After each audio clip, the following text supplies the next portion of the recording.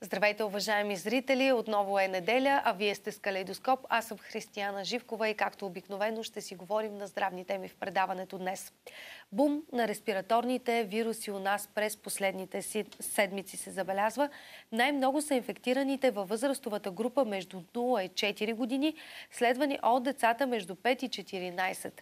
Сега да поговорим по темата, както и за причините, съм поканила доктор Вентислав Везенков, който е педиатър. Здравейте! Здравейте! Доктор Везенков, какво се случва? Може ли да говорим за скрита COVID вълна или респираторните вируси са други, модифицират се? Кажете ни вие като специалист. Трябва да имаме достатъчно данни. Ние ги получаваме от официалната статистика за колко са положителните с коронавирус и за колко той не е идентифициран. Явно тенденцията е, че намалява коронавируса, но това са сериозни изследвания, които трябва да направят много микробиологични лаборатории, за да стигнат до идеята колко вируси са се рекомбинирали. Това са предположения. Mm-hmm и трябва да имаме доказателства. Да, интересно е, че като клинична картина малко по-странно протичат сега вирусните инфекции и са по различни от обичайните. Но то така или иначе вирусите са едни от най-бързо мутиращите микроорганизми. Дори в рамките на един студен сезон, да кажем зимните месеци, боледуващите в началото на епидемията боледуват по един начин, през колкото повече индивиди премине вируса, той се модифицира, и така че боледуващите през декември, да кажем, боледуват по един начин, а боледуващите през април боледуват по друг начин, защото mm-hmm. това са е на брой поколения вируси. В рамките на един човешки живот, да кажем, човек се усъвършенства и придобива някакви умения, докато при микроорганизмите това са въпроси на часове и на дни. Там е много бърза репликацията, така че всяко следващо поколение микроби се получава в геометрична прогресия. От 1-2, от 2-4, от 4, от 8, от 8-16, от 16-32 индивида и така нататък по геометрична прогресия, така че всяко следващо поколение на първоначалния вирус е по-приспособено от предишния. И това става за много кратко време. И затова е много трудно да се типизира и да се разбере, докато аха, аха сме открили нещо, то се оказва, че вирусът е мутирал. И тези методи, с които го откриваме, вече са остарели или недостатъчни. Може да има и мимикрия, да имаме фалшиво отрицателен COVID-тест и все пак да е корона вирусна инфекцията. Клиничната картина на вирусната инфекция се припокрива на един или друг или на трети вирус, въпреки че има някои желони и критерии, по които човек може да се ориентира. Като цяло има вируси с бавно начало вирусни инфекции, има вирусни инфекции с рязко начало. Рязко беше началото при всеки грипен подвариант на вируса, но пак зависи от терена, от самия индивид. При някои хора е бурно началото, при други е по-бавно началото. И в този ред на мисли трябва да се подхожда индивидуално към всеки човек. Но основното правило при вирусната инфекция остава, че лягаш вкъщи и чакаш да ти мине. Значи не общуваш с други хора, за да не заразяваш други хора. Лягаш си вкъщи, за да не хабиш енергия за нещо друго, а да може организма да се справи с ситуацията. Спираш да се храниш с твърда храна, взимаш всякакви сокове, най-добре прясно изцедени, кой каквото има, каквото му харесва, ябълки или ще са цитруси или да са много течности, билкови чайове по избор. Липов, Лайков, Мащерков, планински, мурсалски течности. Човек болният човек трябва да прилиема голямо количество течности, компот от малини, чай от листата на малините, конфитюр от малини, но по-скоро да изпива течността с вода. Три дена лежи и чака да му мине, не пие излишни химични лекарства. На четвъртия ден може да си пусне кръвна картина, да бъде прегледан. Обикновено хората, които спазват правилото на трите дена, минават по-бързо през всеки вирус. Било mm-hmm. корона, било грипа, било грип Б, било адено, било коксаки. Имената са много. Много подразделени разновидности, респираторно синцитиален вирус. Това е основното, което човек трябва да спазва. Щом си болен, се изолираш, пазиш си енергията, за да може организма да се възстановява, приемаш голямо количество течности и чак тогава мислиш за медикаменти. Да, да. И почивката на организма, както казвате, едно от основните... От основните неща. Да се възстанови по-бързо. А, при вас каква е ситуацията? Имате ли много сега болни малки пациенти, тъй като това, което е излязло като статистика е, че масово са болни децата между 0 и 4 години или е по-различна ситуацията? Сега, моята практика е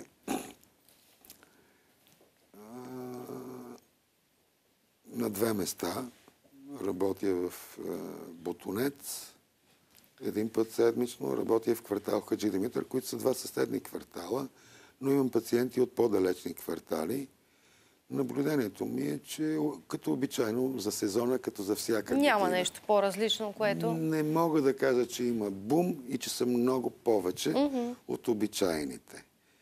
Но тъй като голяма част от моите пациентчета са деца на мои пораснали пациентчета, майките и татковците са били мои пациентчета, те не са представителна извадка за града или за страната въобще.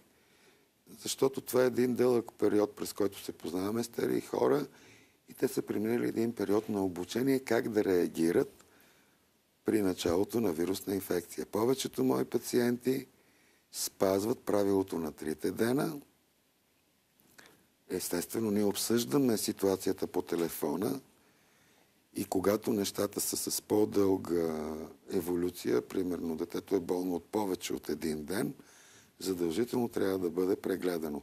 Но ако се разболява в момента, аз казвам, оставате вкъщи, правите първо, второ, трето, тези мероприятия и обикновенно като се чуем на следващия ден, задължително държим връзка, защото при малките деца нещата стават много бързо. Бързо се подобряват, бързо се влушават. Mm-hmm. Затова телефона се запалва, а по-малко са случаите. Обикновено трети или четвъртия ден е за преглед. Mm-hmm. Болното дете. След а когато говорим за тинейджери, там обикновенно не се налага. До третия ден при тях минава. Отваряме една скобичка, че имунната система е така устроена от човека, че почти е казуистика, т.е. да го кажа на български, голяма рядкост е дете до една година да боледува сериозно и от някакви инфекции. Uh-huh. Детето има пасивен имунитет, придобит от майката, през плацентата и при кърмането. Човешкото мляко mm-hmm. съдържа много антитела, готови антитела. Така че е голяма рядкост дете до една годишна възраст да боледува. По-често боледуват между една и пет. Тогава се изчерпва пасивно придобития имунитет от бебето, от майката. Нейният подарък вече се обесценява, така да кажем, и детето трябва да изгради свой имунен отговор и тренировките на имунния отговор са тези повишавания на температурата, които са полезни в крайна сметка, да. защото човека създава своя набор от инструменти за борба с инфекциите. И най-често боледуващите деца са тези, които в детско-градинската и яслена възраст – пасивният имунитет се е изчерпал и вече започва битката за изграждане на собствен имунитет. Mm-hmm. И точно в този период, в забързания 21 век, хората казват, нямаме време да боледуваме, същото пренасят и върху децата си и започват едно масирано лечение, с което всъщност удължават боледуването и произвеждат хронично болни деца. Тоест, искате да кажете, че когато един родител не си обърне и на себе си внимание, се пренася върху детето, нали така? Правилно ви разбирам. Не Или ако и детето... внимание, значи то, то, то си върви по наследство. Значи има хора, които са тревожни. Времето ни е тревожно в момента. Забързано и тревожно време. Има война на някакви си няколко стотин километра. Имаме инфлация, имаме криза за това, имаме криза за онова. И на фона на всичкото това сега и някой вдига температура. Uh-huh. По-близо до ума е човека да му даде нещо за сваляне на uh-huh. температурата и с иллюзията, че сме излъгали и надхитрили природата и нещата, ще го пресечем. да пресечеш нещо с нож. След като се е стигнало до температура, организма е изчерпал всички свои възможности да се справи с ситуацията и това е последния бастион преди болестта да превземе тялото изцяло. Температурата е това нещо, което ни предпазва. Ние сме топлокръвни, както повечето бозайници.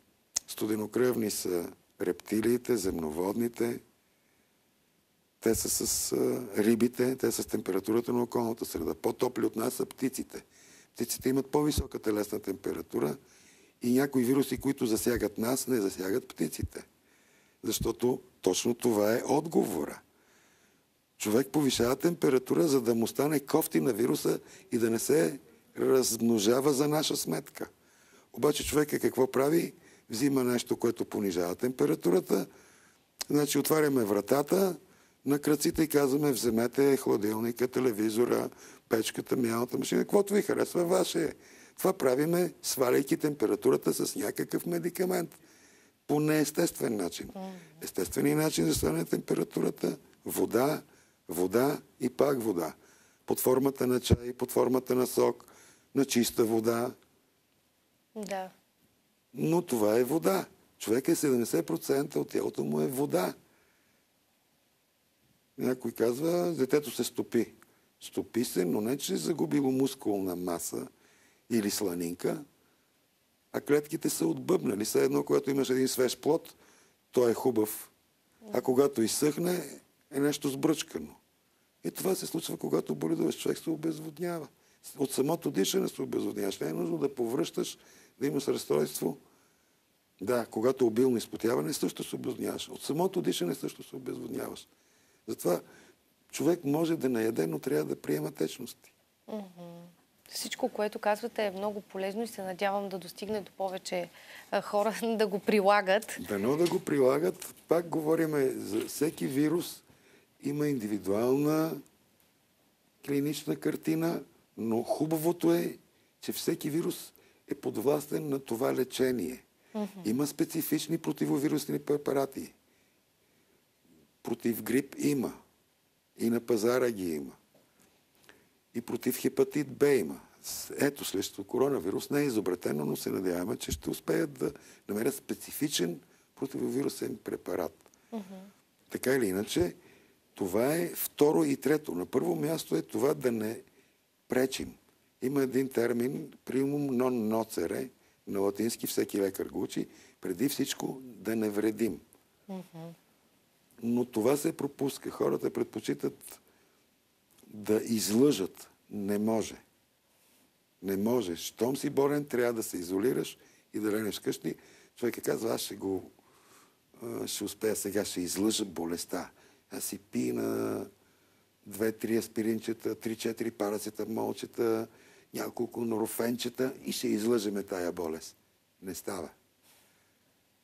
И после Ама объркаха го лекарите. Не, не са го объркали лекарите. Човека сам се е объркал. Когато е дошъл, лекаря му казва, а сега трябва да вземете и това, и това. И обикновено хората грешат, казват, много силен антибиотик ми дадоха, той ме тръщна. Самата болест е тръщнала, човече.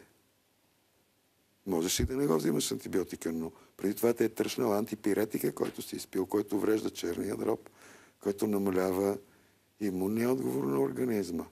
Опитай. Но малко хора дръзват да опитат. Щом има сметка, тя трябва да се плати.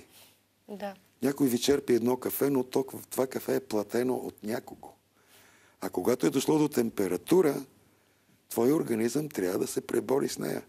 Не може ти да вземеш на друг болката. Майката иска детето да не го боли. Няма начин. Тая болка е изпратена на него.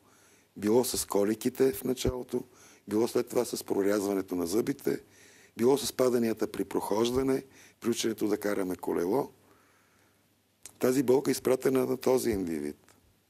По-добре да я приеме да. и да се подпомага. Има доста природни средства и безвредни лекарства, отколкото са обезболяващите и така наречените антипиретици. Да, да. Противовирусни препарати не взимайте антибиотик в началото на която и да е вирусна инфекция. Това щях да ви питам и за антибиотиците, което е много важно също. Кога трябва да се употребяват и кога не трябва да се избързва с приема им. Да, българина казва, аз ще си изпия антибиотика uh-huh. и ще ми мине. Това е иллюзия. Няма антибиотик, който да действа на вирусите. Вирусът е микроб, който е неподвластен на антибиотично лечение. Бактериалните инфекции, повечето от бактерии, с оговорката, ако не е резистентен въпросния бактерии, са чувствителни към антибиотици. Така че трите дена, за които казах по-рано, това е едно златно правило. Запомнете правилото на трите дни. Да. Три дни чакаш. Симптоматично лечение е това. Човек се обезоднява, трябва да го оводняваме. Студено му е, трябва да го затоплим. Жега му е, трябва да го охладим. Температурата е най-доброто нещо, което може да направи вашето тяло, вашия организъм за вас. До 39 тя не е проблем. Да. Ако дори да не взимаш лекарства на всеки час, човека, който се е разболял, приема по една чаша вода, хладка, по-топличка, ще види, че ще се изпоти и температурата ще се нормализира. Не говориме за никакви медикаменти. Да. Каквито наистина българина е свикнал масово да ползва. За съжаление, той се опитва да излъже. А не можеш да излъжеш природата и Господ. Така са устроени нещата, че има ли сметка, тя се плаща. Да. Наистина, казахте много полезни неща, които ако започнат да се правят, със сигурност и болните хора ще намалеят. Вървим към финал на нашия разговор. Вие дадохте много съвети, които ако човек реши да спазва, със да. сигурност ще има полза а, от тях. Но какво бихте добавили и какво бихте искали да чуят а, повече хората, свързани с предпазването от респираторните вируси? Безспорно, безспорно, това са капкови инфекции. Случвало се някоя баба да каже, добре, хайде сега баба ще го води в мола. Не може кихещо и кашлящо дете или голям човек да бъде на места, където има много хора. Това е безотговорно, защото той е източник на зараза в момента. Кихайки и кашляйки, те летят на 7-8 метра. Частици, които са невидими с човешкото око. Дори да си закриваме устата с ръка, което не е добра идея, защото така Чайно. отива на ръката. По-добре да е в лакътя, върху дрехата, когато ще кихнаме или кашляме. Но кихащия и кашлящия няма място там, където се събират много хора. Ако се налага да отиде, да си сложи маска, за да не заразява други хора. Mm-hmm. Но за това е добре човека, който е в момента ръси своята микрофлора, вируси и бактерии, които обикновено си живеят върху него и не му пречат, попаднали на друг терен, но възприемчив. Значи, ако ти си с добра имунна система и да ти се изкихат пет човека на среща, няма да се разболееш. Но като цяло, моите наблюдения е, че ни е много болно обществото. Има много хронично болни хора, на които всъщност имунният отговор не е добър. Mm-hmm. И затова предпазните средства са по-добри. Не дай да ходиш там, където може да се заразиш. Какво търсиш на пазара? Какво търсиш в мола по време на епидемия. Да. Стой си вкъщи. Не, не казвам, че човек трябва да се затвори. Казвам, че онзи, който ръси вируса, не трябва да, да. щъка насам и натам. Затова личните предпазни средства, но всичките маски, запомнете, те са за половин до един час. Тази маска след това е още по-голям източник на зараза. И трябва да я прибереш mm-hmm. и да я обезразиш или да отиде в инсинератор да се изгори. Значи, тези еднократни маски, които хората си ги носят по една седмица и от време на време си я вади и си я слага, тя нищо не прави. Еднократната маска се носи половин до един час и след това се сменя с нова. А другата не се хвърля на улицата. Или в най-близкото кошче за буклук. Това е предпазните, но основно е здравословен начин на живот. По-малко тревоги, повече положителни емоции и ядене на храните, които са характерни за сезона и за географската ширина, на която живееш. Не трябва да ядеш ягоди през януари. Ягоди през януари в България не растат. Екзотични плодове като банани или еди какво си докарано от Южна Африка в България не е храната на българина. Това, което се е родило на българската земя, това е твоята храна. Според сезона сега трябва да ядат сезонни зеленчуци. Това са кореноплоди като картоф, морков, зеле, ряпа. Туршията е хубава храна, ако човека няма храносмилателни смущения, защото това са пре и пробиотици. Естествена ферментация. Натуралното българско кисело мляко. Прекрасно. Чесъна добър до някъде. Гони лошите духове енергии, но гони и добрите. Да, да не се прекалява с чесъна. Всичките, които ги знаеме, пчелните продукти. Клеви, тинктури, прополис, пчелен клей, пчелно млечице. Всичко това е идеално. Нашите си сезонни плодове, ябълки, по една ябълка на ден. Пази лекаря далеч от мен. Или мен далеч от лекаря. Това е здравословен начин на живот. Да се наспиват хората един от най-големите проблеми за имунитета е светлината. Изкуствената светлина. Я, ден. Какъв ден бе? Сега е Слънцето е залязло преди 5 часа. Ти в 10 часа вечерта не си си легнал, в 11 не си си легнал, в полунощ още не си си легнал и на сутринта си станал уморен. Е, каква имунна система искаш да имаш? Лягайте си на време, ставайте на време, правете си физарядката, хигиената и аз ще здравословно и няма да имате нужда от лекари. Чудесен завършък на нашия разговор. Доктор Везенков, уважаеми зрители, беше наш гост. Много ви благодаря още веднъж и ще се радвам да ни гостувате отново, за да давате полезни съвети на хората за това как да стоят далеч от лекаря и от лекарския кабинет. Благодаря и аз. Така завършва първата част на Калейдоскоп. Уважаеми зрители, останете с нас.